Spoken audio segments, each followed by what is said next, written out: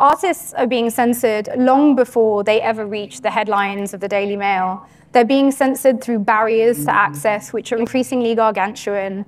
If you want to really understand where arts are actually being censored, you need to look long before those individuals ever even get a chance to express their art in the world. Throughout the UK, the arts are struggling. The Tory government has been hell bent on a mission to defund, devalue the UK's art and cultural sector since it came to power.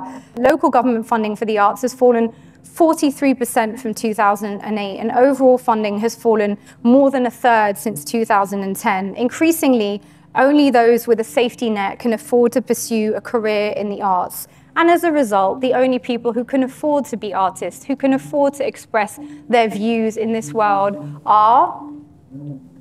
Oh no, don't let me be a snowflake.